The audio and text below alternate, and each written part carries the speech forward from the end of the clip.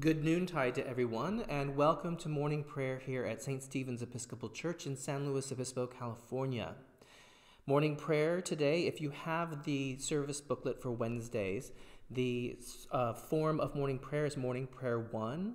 The form is from the Episcopal Church's Enriching Our Worship. So if you're an Episcopalian and have access to Enriching Our Worship, you can use that as well. Today, the church remembers John and Charles Wesley. And, um, uh, oh, let me get you prepared for the psalm. The psalm today is on page 727 of the Book of Common Prayer, if you have that with you. Page 727, Psalm 98. So that's the psalm that you can get prepared for. As I said, the church today remembers John and Charles Wesley, priests. John was the 15th and Charles the 18th child of Samuel Wesley, rector of Epworth, Lincolnshire, and his wife Susanna. John was born June 17, 1703, and Charles December 18, 1707. Of the 19 Wesley siblings, only 10 lived to maturity. Under their mother's tutelage, all of the Wesley children were schooled each day in six hour lessons, always begun and concluded with the singing of psalms. Their theological writings and sermons are still widely appreciated, but it is through their hymns, especially those of Charles, who wrote over 6,000 of them, that their religious experience and their Christian faith and life continue to affect the hearts of many. Both Wesleys were educated at Christ Church, Oxford, John later being elected a Fellow of Lincoln College, where they gathered a few friends to join a holy club in strict adherence to the worship and discipline of the prayer book and were thus given the name Methodists. John was ordained in 1728 and Charles in 1735. Both were profoundly attached to the doctrine and worship of the Church of England and deeply moved by and critical of the Church's neglect of the poor, and remained so despite abusive opposition to their cause and methods. The two brothers went together to Georgia in 1735 John as a missionary of the Society for the Propagation of the Gospel, and Charles as secretary to James Oglethorpe, the governor. Shortly after their return to England, they each experienced an inner conversion. On May 21, 1738, Pentecost, Charles, quote, felt the Spirit of God striving with his spirit till that by degrees he chased away the darkness of unbelief, unquote. Three days later, at a meeting on May 24th in Alder, Aldersgate Street in London with a group of Moravians, during a reading of Luther's preface of the Epistle to the Romans, John rec- recorded, I felt my heart strangely warmed. I felt I did trust in Christ, Christ alone, for salvation, and an assurance was given me that he had taken away my sins, even mine, and saved me from the law of sin and death. So that revival was born. The formal separation of the Methodists from the Church of England occurred after the deaths of the two brothers in London, Charles on March 29, 1788, and John on March 2, 1791. But John's uncanonical ordinations of elders for America, bitterly opposed by Charles, doubtless set the basis for it.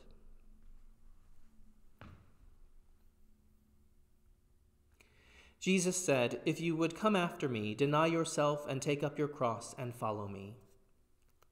Let us confess our sins to God. God of all mercy, we confess that we have sinned against you, opposing your will in our lives. We have denied your goodness in each other, in ourselves, and in the world you have created. We repent of the evil that enslaves us, the evil we have done, and the evil done on our behalf. Forgive, restore, and strengthen us through our Savior Jesus Christ, that we may abide in your love and serve only your will. Amen. Almighty God, have mercy upon us, forgive us our sins through the grace of Jesus Christ, strengthen us in all goodness, and by the power of the Holy Spirit keep us in eternal life. Amen. O God, let our mouth proclaim your praise, and your glory all the day long. Praise to the holy and undivided Trinity, one God, as it was in the beginning, is now, and shall be forever. Amen. Let us say together the invitatory psalm, Psalm 67. O God, be merciful to us and bless us. Show us the light of your countenance and come to us. Let your ways be known upon earth, your saving health among all nations. Let the peoples praise you, O God. Let all the peoples praise you. Let the nations be glad and sing for joy, for you judge the peoples with equity and guide all the nations upon earth. Let the peoples praise you, O God. Let all the peoples praise you.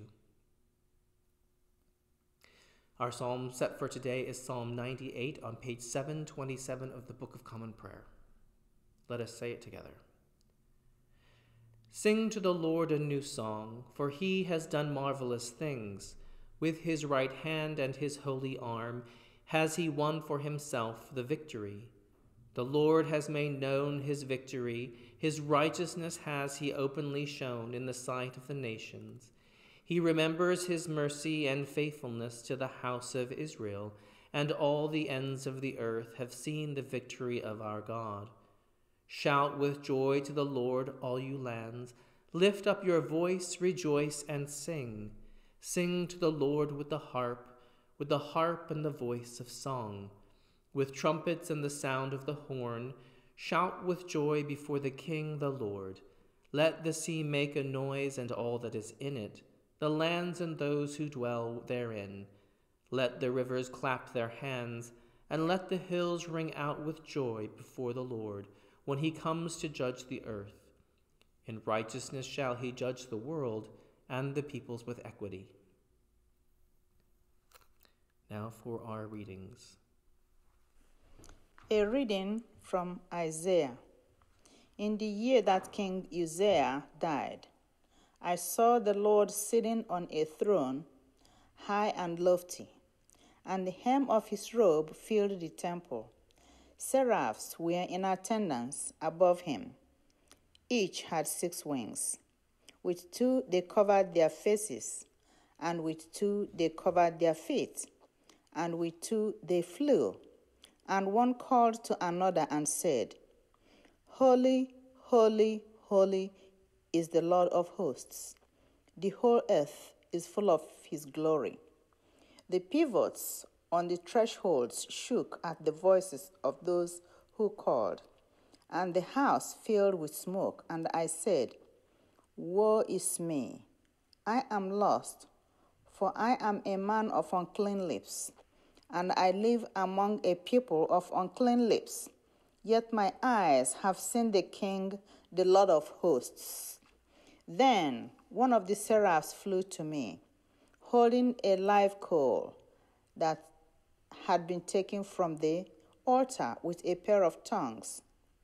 The seraph touched my mouth with it and said, Now that this has touched your lips, your guilt is departed, and your sin is blotted out. Then I heard the voice of the Lord saying, Whom shall I send? and who will go for us? And I said, Here am I, send me. Hear what the Spirit is saying to God's people. Thanks, Thanks be to God. God. Let us say together Canticle Q, a song of Christ's goodness. Jesus, as a mother, you gather your people to you. You are gentle with us as a mother with her children. Often you weep over our sins and our pride. Tenderly you draw us from hatred and judgment. You comfort us in sorrow and bind up our wounds. In sickness you nurse us, and with pure milk you feed us. Jesus, by your dying we are born to new life. By your anguish and labor we come forth in joy. Despair turns to hope through your sweet goodness. Through your gentleness we find comfort in fear. Your warmth gives life to the dead. Your touch makes sinners righteous. Lord Jesus, in your mercy heal us. In your love and tenderness remake us. In your compassion bring grace and forgiveness. For the beauty of heaven may your love prepare us. Reading from Luke's Gospel. Jesus called the twelve together and gave them power and authority over all demons and to cure diseases. And he sent them out to proclaim the kingdom of God and to heal. He said to them, Take nothing for your journey no staff, no bag, no bread, no money, not even an extra tunic. Whatever house you enter, stay there and leave from there. Wherever they do not welcome you as you are leaving, as you are leaving that town, shake the dust off your feet as a testimony against them. They departed and went through the villages, bringing the good news and curing diseases everywhere. Hear what the Spirit is saying to God's people. Thanks, Thanks be to God. God.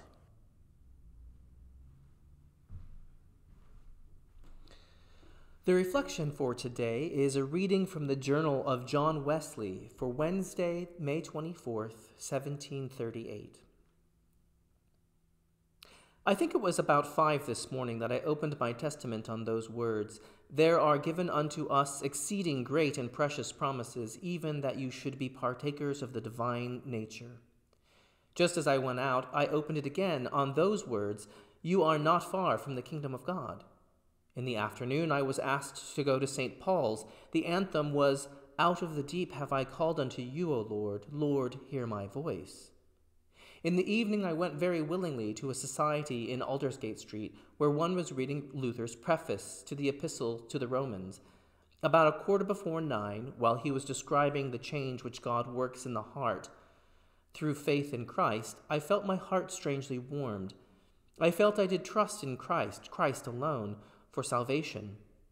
And an assurance was given me that he had taken away my sins, even mine, and saved me from the law of sin and death. I began to pray with all my might for those who had in a more special manner dis- despitefully used me and persecuted me. I then testified openly to all there what I now first felt in my heart.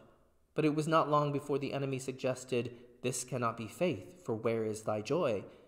Then was I taught then was I taught that peace and victory over sin are essential to faith in the captain of our salvation, but that as to the transports of joy that usually attend the beginning of it, especially in those who have mourned deeply, God sometimes giveth, sometimes withholdeth them, according to the counsels of his own will. After my return home, I was much buffeted with temptations, but cried out, and they fled away. They returned again and again, I was often lifted up, I, I, I as often, I as often, I as often lifted up my eyes, and he sent me help from his holy place. And herein I found in what the difference between this and my former state chiefly consisted. I was striving, yea, fighting with all my might under the law, as well as under grace. But then I was sometimes, if not often, conquered. Now I was always conqueror. The Wesleys were exceptional brothers. I didn't know their family was so big, um, but they were exceptional, and they did a lot of work here in the United States. Um, and uh, their legacy of caring for the most marginalized in society, the poor, those in prison, uh, focus on, focusing on education for such people, uh, is still their legacy today. Maybe not as prominent, um, but you can still see you can still see their legacy but in this country in particular. Let us pray as our Savior taught us. Our Father in heaven, hallowed be your name. Your kingdom come, your will be done, on earth as in heaven. Give us today our daily bread. Forgive us our sins as we forgive those who sin against us. Save us from the time of trial, and deliver us from evil. For the kingdom, the power, and the glory are yours, now and forever. Amen. Hear our cry, O God, and listen to our prayer. Let us pray. Help us, O God, our Savior. Deliver us and forgive us our sins. Give strength to those in our congregation and loved ones on the front lines. Bettina, Grace, Kate, Robin, Brad, Chris, Christopher, Craig, Jason Robert, Jim, Carl, Michael. Have compassion on those who have asked for our prayers. Dixie, Elizabeth and Joe, David Hafmeister, Sophia, Ogo, Ngozi and Joseph, Beverly, Dan Dowdy, Leanne Meinhold Keys, Francis Reedy, Barbara Rayburg, Lovett, Roxana, Katie Griffith, Gloria Ensberg, Rich and Jane Castle, Gail, Peggy, Jim Ruff, Holly, Sue, Jim, and those suffering from COVID 19. Amy Frost, Richard Guthrie, Sharon Chase, William, Abby, Stephen and Walker, David Gibbs, and those persons whom the, whom the people now name. And look upon your congregation. Give to your people the blessing of peace. Declare your glory among the nations and your wonders among all peoples. Do not let the oppressed be shamed and turned away. Never forget the lives of your poor. Bless the St. Stephen's family and those in the parish cycle of prayer Eric Fisher and Catherine Marshall, George Gorindo, Grady Ahan, Lawrence and Kathleen Pennington, Liz Frost, Michael Carroll, Jane Alderman.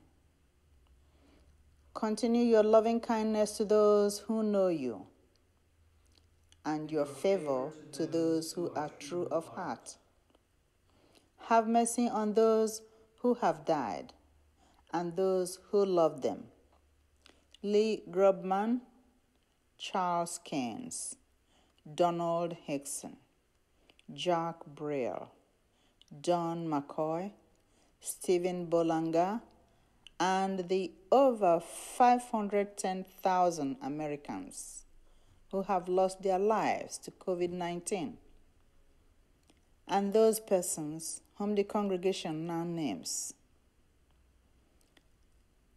Satisfy us by your loving kindness in the morning, so shall we rejoice and be glad all the days of our life. Lord God, you inspired your servants John and Charles Wesley with burning zeal for the sanctification of souls and endowed them with the eloquence in speech and song. Kindle such fervor in your church, we entreat you, that those whose faith has cooled may be warmed, and those who have not known Christ may turn to him and be saved, whose lives, who lives and reigns with you in the Holy Spirit, one God, now and forever.